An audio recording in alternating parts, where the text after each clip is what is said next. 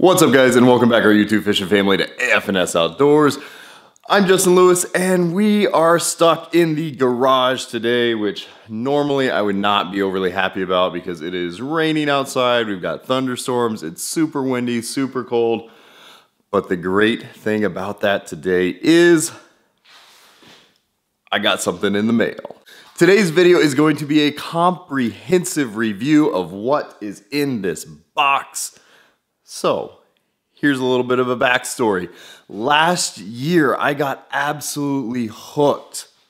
Absolutely hooked on a new style of fishing that I'd never gotten to do before. It is putting away the bass gear, getting away from the big rods, and getting into all of this awesomeness over here that is the sport of ice fishing. Never got to do it growing up in Kansas, moved up here to Iowa and got to go out for the first time last season and I am absolutely hooked. The downside though was that I had to go out and I, I went crazy. I bought a lot of stuff last year, but what I did not do is I did not invest in a very good ice shack. In fact, I've got a little one up here and the one thing that I probably should have spent a little bit more money on is probably the least expensive thing in my entire ice fishing collection, um, which was the shack. It's like a glorified turkey blind is really what it is. And I'm not even sure it's a glorified version. It's just, it was very little. There was not a lot of space. Um, it did serve its purpose. I enjoyed it immensely. But this year, it was time. So we have fully committed to the sport of ice fishing and we are gonna be going out a ton. I hope you guys are looking forward to those videos. But today's video is going to be a full comprehensive review of our new ice shack. So this is a product video guys. And this is, I'm not sponsored by anyone when it comes to this ice fishing stuff other than our Vexan rods because they Vexan does make awesome ice rods. So this was purchased by me at full retail cost, not even a discount or anything here. Just went out, and this is one thing that, um, if you guys know me, bigger purchases, I do a ton of research on. So in my opinion, this was the best, best fit ice shack for me and maybe on the market, in my opinion. So here's what we got we got us a Clam Elite Series. So this is the Jason Mitchell Elite Series, the Thermal X. This thing is still in here. It just got delivered. The delivery company called me up and they're like, hey, we've got a pallet for you. And I was like, what do you mean you've got a pallet for me? They're like, yeah, it looks like you ordered a big box and it's on this giant pallet. It's like 175 pounds. We got it in the semi. What should we do with it? And I'm like, okay, we got it here. We got it in the garage this is what we got to do. I've got to get it out. I've got to build it. And as we go through, I will tell you why I bought this one, why I think it's the best for me, and the awesome features that this Jason Mitchell series has to offer. So that's what today's video is, guys. As always, if you like the video, hit that like button. If you haven't yet, hit that subscribe button. We have new videos out for you guys every single Thursday. We don't do a lot of product reviews, but this is one that I think is worth the time. If you have a question, want to talk to us, hit us up in the comments below. We do get back to you guys. At this point, it's time for the epic montage. Look at that parts list. yeah.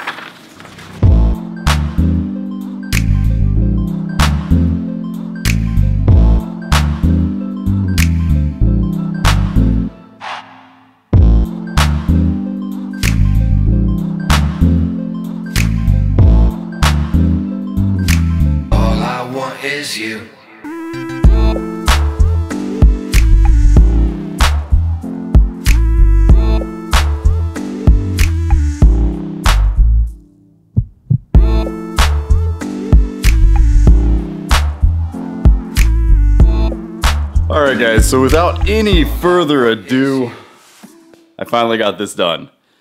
It took from opening the box to this completed state about two and a half hours or so um, to really get this thing together and finished, including putting the weather stripping on, getting that molding around, and then screwing it all in through the fabric. but it is now done. So here we go, guys. So this is the travel cover that it's on. This is the entire size of the sled. For reference, it's, you know, about six feet or so. So I chose this sled because it was only about 75 pounds. Um, I looked at some of the other ones like the otters and stuff and they were a little bit more, even up to like that 120 pound range. Um, I pull this thing. I don't use an ATV. I pull this um, until I can drive the truck on the ice. And I am a very, very skeptical of ice person. Um, I don't believe that any ice is completely safe. Um, I don't drive on the ice if there's even a thought in my mind that it may not be safe. I wait until that ice is super, super thick. Um, and I have seen other people driving on it for probably weeks before I will drive on it personally. Um, I just don't think it's worth it. I'm not going to go through the ice um, just to go out for a day of fishing. So the travel cover itself just has clips on either side um, that tighten down. So there's three clips that fasten.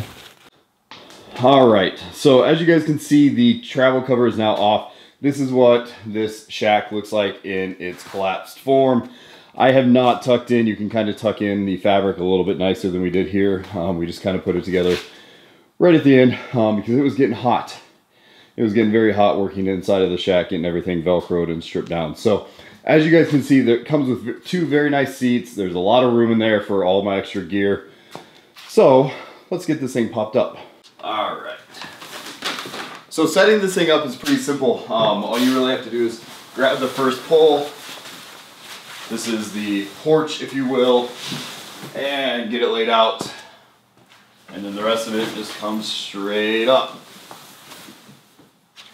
So inside, there's some poles that expand to raise, obviously, the roof of this up, um, and they lock into place. I will show you guys those as soon as I get this up.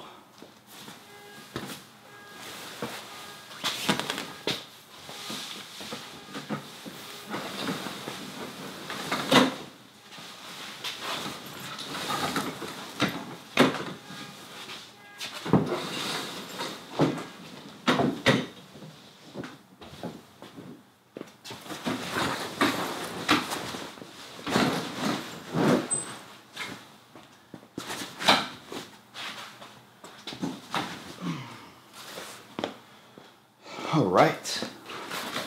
Spread the curtain out so you guys can see that.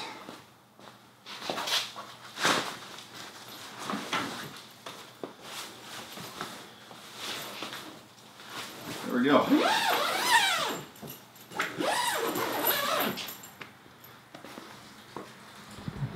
All right.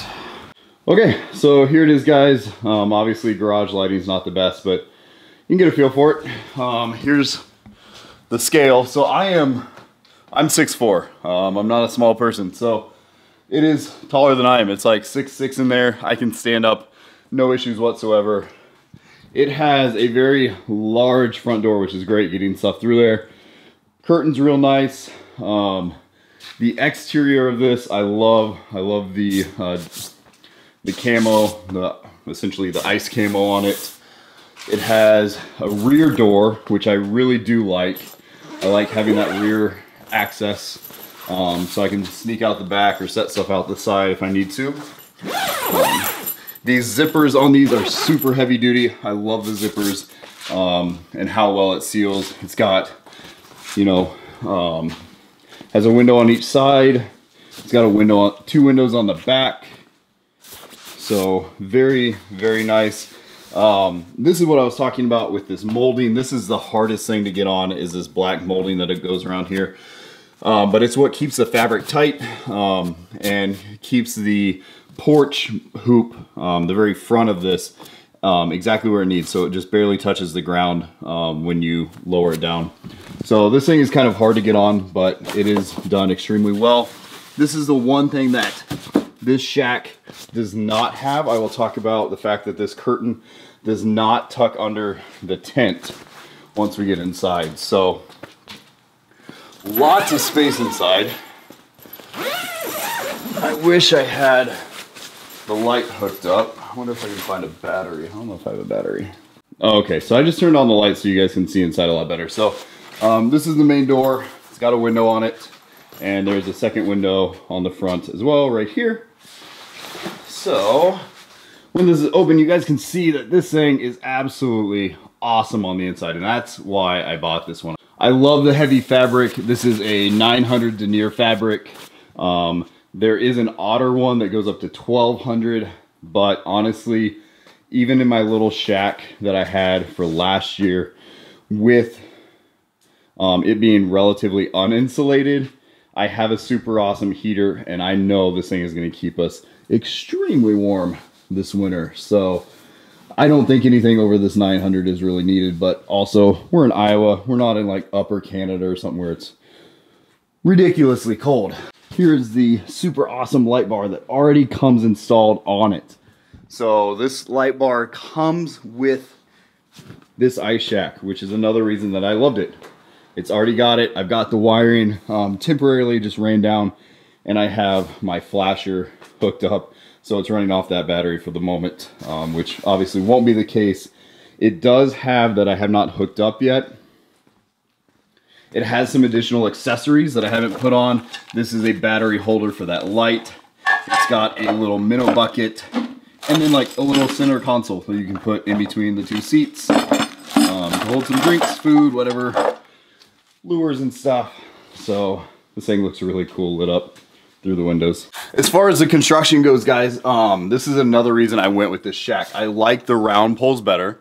The otters have the square tubes that I'm not as big of a fan of. For me, I can use these a lot more for filming um, because I can clip my GoPro mounts and stuff straight to this. So I like these. They're they're heavy duty. I mean, they're still they're still plastic, but they're relatively heavy duty. It's just one button, it'll collapse these. There are spreader poles, so I just opened this up. So you guys can see I just got these spreader poles hooked up.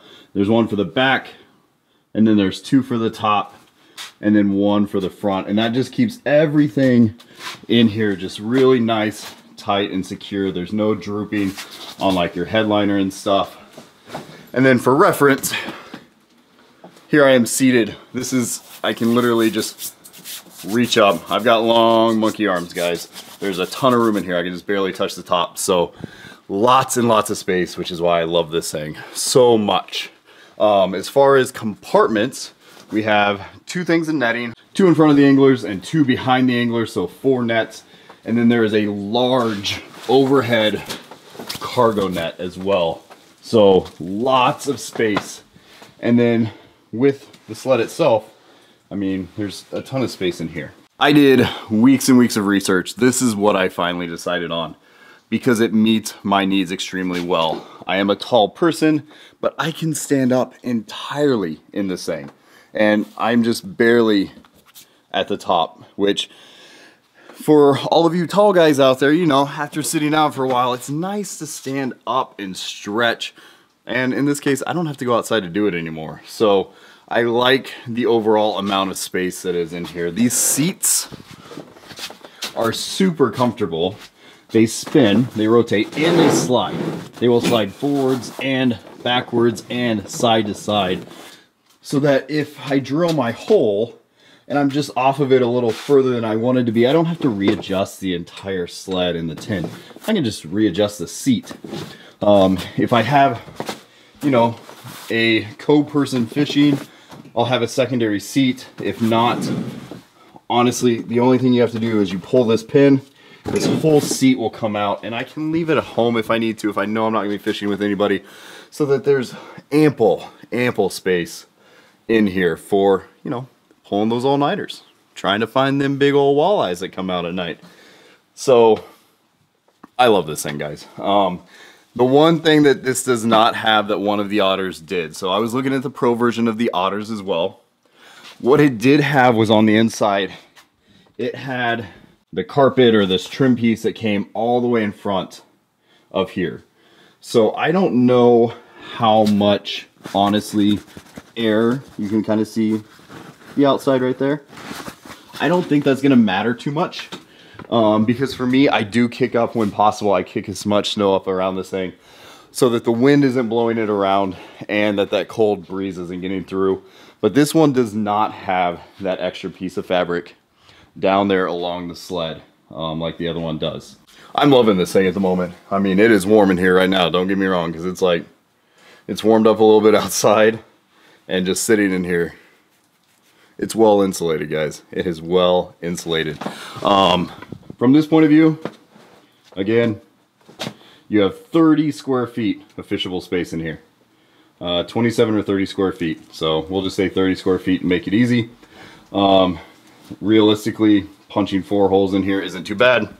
For me, it's gonna be punching a couple holes and then setting up camera gear. I'm gonna have all kinds of room for camera gear, which is gonna bring some better shots and better footage for you guys. And, you know, I find filming all of it very, very entertaining. So it's gonna be a good time. Other than that, I think you guys are probably interested in seeing how fast this thing collapses. So we're gonna do this real quick in real time to the best of my ability because I've only done this once. All right guys, so I'm gonna go ahead and collapse this as quickly as I can while still maintaining good care of it um, because that's one thing is I really wanna take good care of this. This thing is gonna last me years.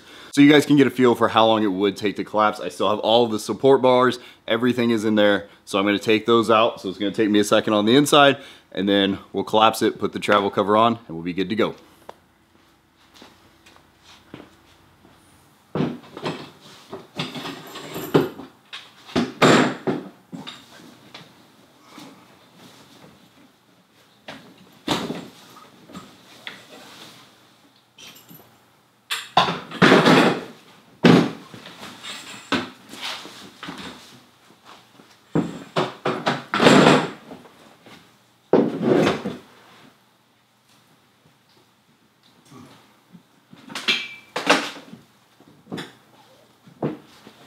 Got to close up all the windows.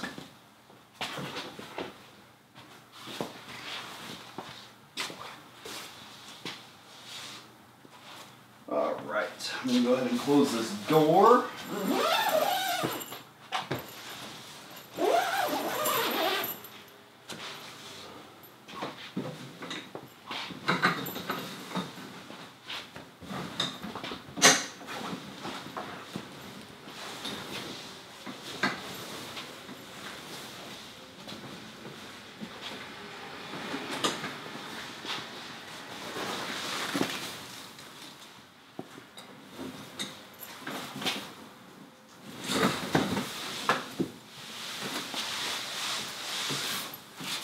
There's that. Glass And it's collapsed. So personally, I come back. I try to tuck as much of that in so I'm not dragging extra fabric that I don't want to be doing. And then it's just a matter of putting the cover on.